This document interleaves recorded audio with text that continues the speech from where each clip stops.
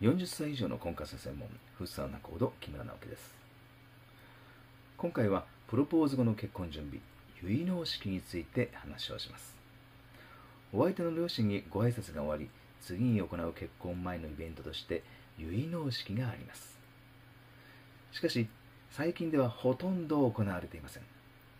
ある調査機関によると結納の実施率は全国平均11%です。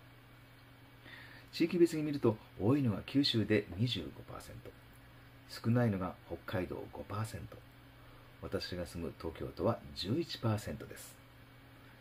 結納を行った理由はけじめの儀式としてが最も多く43%地域や家のしきたりで行ったが24%親の希望が19%でした。結納を行った時期と場所は結婚式の4ヶ月から7ヶ月前に料亭ホテルで行います。最近は結納の代わりにご両家顔合わせ会を行います。85%です。